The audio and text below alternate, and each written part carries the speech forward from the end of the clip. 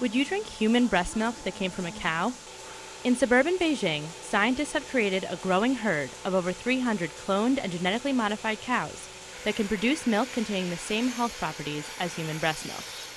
Dr. Li Ning, professor at China's Agricultural University, said that the genetically modified cow milk is 80% the same as human breast milk. Ning explains that the modified milk contains many of the same antibodies and proteins that are good for our health, can improve our immune systems, and can help us fight viruses and bacteria. The goal of Ning's team is to have an affordable version of the milk for sale within the next three years. But how safe is this stuff?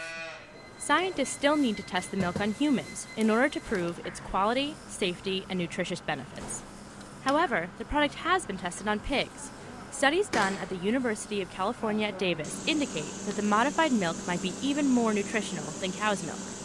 Despite the promise this product may hold, Greenpeace is strongly against allowing this genetically modified product to enter human food chains.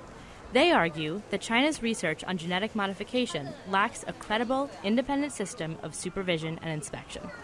On the other hand, some people are curious as to the potential of this new milk. It might be worth it for China, especially, a country with a history of tainted milk powder scandals.